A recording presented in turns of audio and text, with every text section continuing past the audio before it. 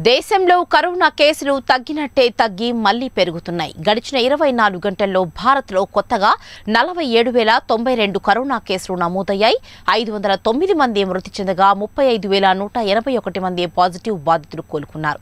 దేశంలో మొత్తం ఇప్పటి వరకు కరోనా కేసుల సంఖ్య మూడు కోట్ల ఇరవై ఎనిమిది లక్షల యాభై ఏడు వేల తొమ్మిది వందల ముప్పై ఏడుకు చేరింది. నాలుగు లక్షల ముప్పై తొమ్మిది వేల ఐదు వందల ఇరవై తొమ్మిది మంది మృతి చెందారు. కరోనా చికిత్స నుంచి మూడు కోట్ల ఇరవై లక్షల ఇరవై ఎనిమిది వేల ఎనిమిది వందల ఇరవై ఐదు మంది కోలుకుని డిశ్చార్జ్ అయ్యారు. ప్రస్తుతం మూడు లక్షల ఎనభై తొమ్మిది వేల ఐదు వందల ఎనభై మూడు యాక్టివ్ కేసులు ఉన్నాయి. దేశవ్యాప్తంగా ఇప్పటి వరకు అరవై ఆరు కోట్ల ముప్పై లక్షల ముప్పై ఏడు వేల మూడు వందల ముప్పై నాలుగు మందికి టీకా పంపిణీ చేసినట్లు కేంద్ర వైద్య ఆరోగ్య శాఖ గురువారం ఉదయం విడుదల చేసిన హెల్త్ బులెటిన్లో వెల్లడించింది.